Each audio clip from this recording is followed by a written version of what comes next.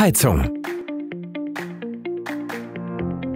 Die Bedienung der Wassertherme erfolgt über das zentrale Bedienpanel, die Zündung der Warmluftheizung per Drehknopf direkt an der Heizung.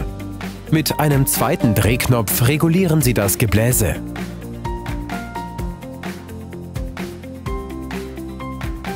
Die Austrittsöffnungen für die Warmluft sind verstellbar.